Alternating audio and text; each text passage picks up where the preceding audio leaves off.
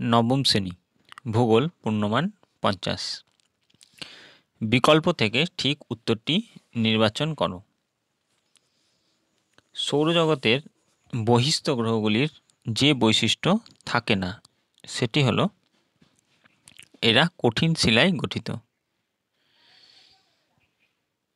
সূর্যের উত্তরায়ণের শেষ সীমা হল কর্কট ক্রান্তি রেখা। মানবিক সম্পদের একটি উদাহরণ হল দক্ষতা। বিষুব রেখায় ধ্রুবতারার উন্নতি কোণ জিরো ডিগ্রি। ভূ-আলোড়ন ভূপৃষ্ঠে আনুভূমিক, অনুভূমিকভাবে কাজ করলে সৃষ্টি হয় ভঙ্গিল পর্বত।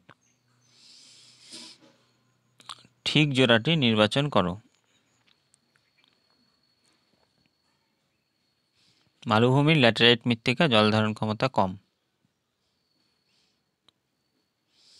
অক্ষরেখার অন্যতম প্রধান বৈশিষ্ট্য, অক্ষরেখাগুলি পরস্পরের সমান্তরাল। বিদার অঙ্কোদ্গমের মাধ্যমে সৃষ্ট ভূমিরূপ হল লাভা মালভূমি। ঠিক জোড়াটি নির্বাচন করো। কালিম্পং জেলা সমুদ্র থেকে দূরবর্তী স্থান। শূন্যস্থান পূরণ করো। দাঘিমা রেখাগুলি নিরক্ষরেখাকে নব্বই ডিগ্রি কোণে ছেদ করেছে। আবহবিকারগ্রস্ত শিলা চূর্ণ বিচ্ছিন্ন হয়ে মূল শিলার উপর যে শিথিল আবরণ তৈরি করে তাকে রেগলিত বলে। দার্জিলিং জেলার মধ্য দিয়ে প্রবাহিত একটি নিত্যবহ নদী হল মহানন্দা। বাক্যটি সত্য হলে ঠিক আর অসত্য হলে ভুল লেখো। তো নিরক্ষরেখার রেখায় অভিকর্ষের মান সর্বাধিক, ভুল। এখানে লিখবে ভুল, আমি ক্রস দিয়ে দিলাম। কোরিওলিস বলের প্রভাবে উত্তর গোলার্ধে আয়ন বায়ু বাম দিকে বেঁকে প্রবাহিত হয়। ভুল। অচিরাচরিত শক্তির একটি উৎস জোয়ার ভাটা শক্তি। ঠিক। অচিরাচরিত শক্তির একটি উৎস জোয়ার ভাটা শক্তি। ঠিক।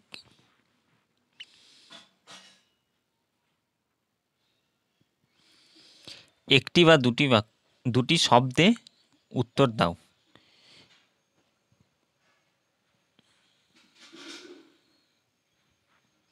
চারের এক, কোনো স্থানের দ্রাঘিমা চব্বিশ ডিগ্রি পূর্ব হলে ওই স্থানটির প্রতিপাত স্থানের দ্রাঘিমা কত হবে? চব্বিশ ডিগ্রি পশ্চিম, একটি পর্বত বেষ্টিত মালভূমির নাম, তিব্বত মালভূমি। কোন জলবায়ু অঞ্চলে রাসায়নিক আবহবিকারের প্রাধান্য লক্ষ্য করা যায়? ক্রান্তীয় বৃষ্টিবহুল। কোনো একটি নিরপেক্ষ সামগ্রিক সম্পদ হয়ে ওঠার শর্তগুলি উল্লেখ করো।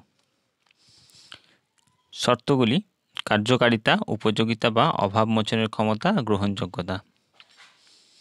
নেক্সট সর্বজনীন চাহিদা। জিপিএস এর দুটি ব্যবহার উল্লেখ করো। জিপিএস এর দুটি ব্যবহার, ভূপৃষ্ঠের কোনো স্থানের সঠিক অবস্থান, উচ্চতা নির্ণয়ে যানবাহন চলাচলের সঠিক দিশা দেখাতে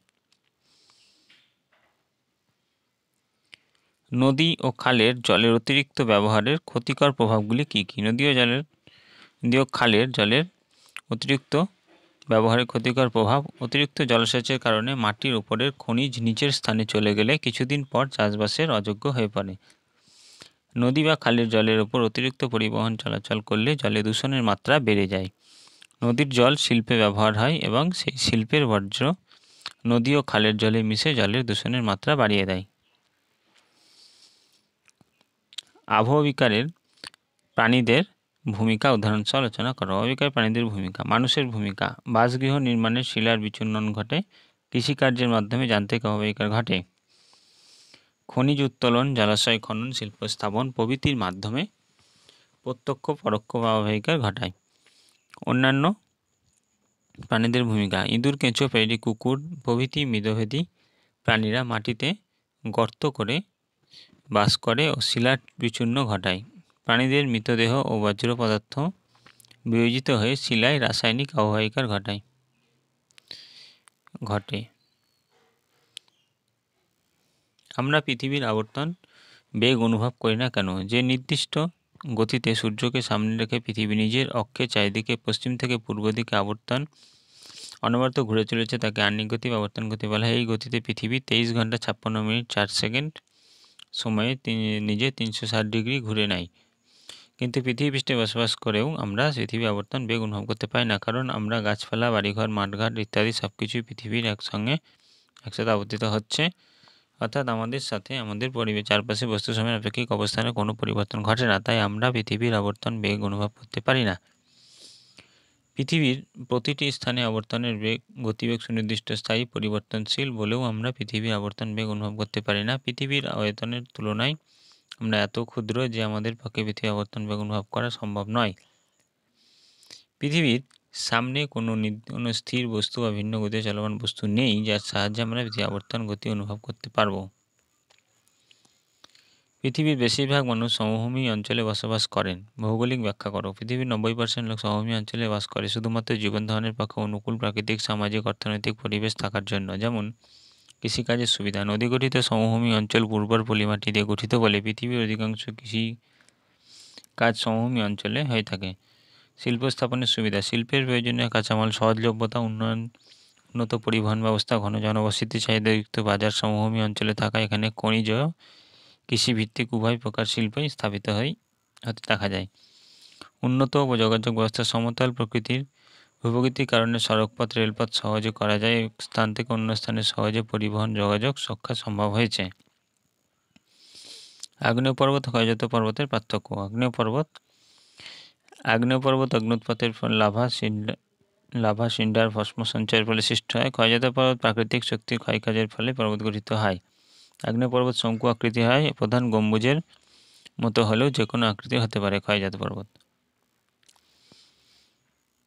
চিত্রসহ নিম্নলিখিত বিষয়গুলির ভিত্তিতে গলীয় আকৃতির দিগন্ত রেখা। কোনো বড় ফাঁকা মাঠে দাঁড়িয়ে দূরে, দাঁড়ালে দূরে মনে হয় আকাশ, মাটিতে মিশে গেছে। তেমন সমুদ্র তীরে দাঁড়ালে দূরে মনে হয় জল আকাশকে ছুঁয়ে গেছে।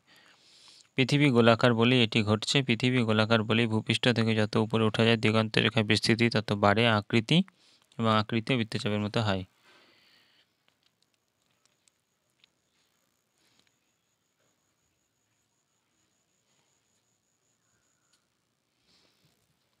উত্তর গোলার্ধে ধ্রুবতারাকে আমরা নিরক্ষরেখায় জিরো ডিগ্রি কোণে দেখি। নিরক্ষরেখা থেকে উত্তর দিকে যাওয়ার যতই ধ্রুবতারা উঁচুতে উঠতে, উত্তর মেরুতে দেখি একেবারে মাথার উপরে নব্বই ডিগ্রি কোণে পৃথিবী সমতল হলে সকল স্থান থেকে ধ্রুবতারাকেও একই উন্নতি কোণে দেখা যেত। উচ্চ পার্বত্য অঞ্চলে তুষার কার্যের ফলে শিলা আবহাওয়া বিকারগ্রস্ত হয় চিত্রসহ ব্যাখ্যা। অক্সিডেশন বা জ্বালানি প্রক্রিয়া কী হবে? উদাহরণসহ ব্যাখ্যা করো। উচ্চ পার্বত্য অঞ্চলে তুষার কার্যের ফলে যান্ত্রিক অববেগা তুষার খণ্ডীকরণ প্রক্রিয়াটি বিশেষভাবে প্রাধান্য লাভ করে। এই প্রক্রিয়া অতিরিক্ত শীতলতার সংস্পর্শে এসে উচ্চ পার্বত্য অঞ্চলে শিলা ফাটলের মধ্যে আবদ্ধ জল বরফে পরিণত হয়। আয়তনে বেড়ে ফাটলে প্রচণ্ড চাপ দিতে থাকে। দীর্ঘদিন ধরে এই প্রক্রিয়াটি চলতে থাকলে শিলার ফাটলটি আরও বেড়ে যেতে থাকে। অবশেষে মূল শিলদহে, শিলাদেহ থেকে শিলাস্ত খণ্ড খণ্ড হয়ে পড়ে অক্সিডেশন ও প্রক্রিয়ায় বায়ুমণ্ডলে।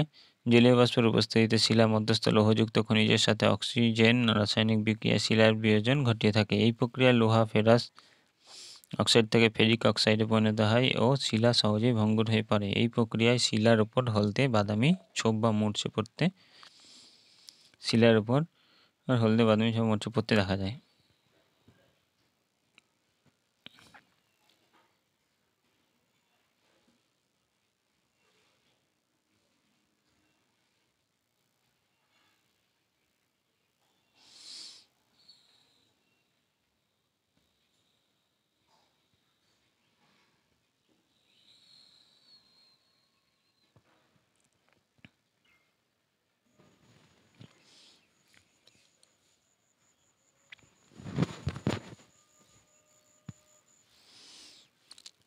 পশ্চিমবঙ্গের জলবায়ু কীভাবে মৌসুমি বায়ু দ্বারা প্রভাবিত হয়? পশ্চিমবঙ্গের জলবায়ুতে মৌসুমি বায়ু কীভাবে কী প্রভাব ফেলে? নিচ্ছে আলোচনা করা হলো। ঋতু পরিবর্তন, মৌসুমি বায়ু, আগমন, প্রত্যাগমনের উপর ভিত্তি করে পশ্চিমবঙ্গে গ্রীষ্মকাল, বর্ষাকাল, শরৎকাল, শীতকাল চারটি প্রধান ঋতু পর্যায়ক্রমে উল্লেখিত অনিশ্চয়ই অনিশ্চিত, অনিয়মিত অসম বৃষ্টিপাত, পশ্চিমবঙ্গের মোট বৃষ্টিপাতের প্রায় নব্বই ভাগ ঘটে মৌসুমি বায়ুর আগমনে কিন্তু মৌসুমি বায়ু খামখেয়ালি প্রকৃতির হাওয়ায় এর প্রভাবে পশ্চিমবঙ্গের বৃষ্টিপাত যেমন অনিশ্চিত তেমনি অনিয়মিত। আর্দ্র গ্রীষ্মকাল, শুষ্ক শীতকাল গ্রীষ্মকালের শেষে দক্ষিণের সমুদ্র থেকে মৌসুমি বায়ু প্রচুর জলীয় বাষ্প নিয়ে পশ্চিমবঙ্গে প্রবেশ করে এবং সমগ্র পশ্চিমবঙ্গে বৃষ্টিপাত হয়। তাই পশ্চিমবঙ্গে গ্রীষ্মকাল আর্দ্র প্রকৃতির, আবার শীতকাল পশ্চিমবঙ্গ থেকে মৌসুমি বায়ু দক্ষিণ দিকে ফিরতে থাকে। স্থলভাগ থেকে প্রবাহিত এই বায়ুতে জলীয় বাষ্প থাকে না। বিপরীতমুখী বায়ুপ্রবাহ, মৌসুমি বায়ুর আগমনকালে পশ্চিমবঙ্গে বায়ুপ্রবাহ দক্ষিণ থেকে উত্তরমুখী এবং প্রত্যাগমনকালে উত্তর থেকে দক্ষিণমুখী হয়। মৌসুমি বায়ুর আগমনের সঙ্গে সঙ্গে আকাশ মেঘে ঢেকে যায়, বৃষ্টিপাত ঘটে, ফলে উষ্ণতা অনেকটা কমে যায়। ভালো লাগলে চ্যানেলটিকে সাবস্ক্রাইব করে রাখবে। পরবর্তী ভিডিওগুলো সহজেই তাহলে তোমার কাছে পৌঁছে যাবে সবার আগে।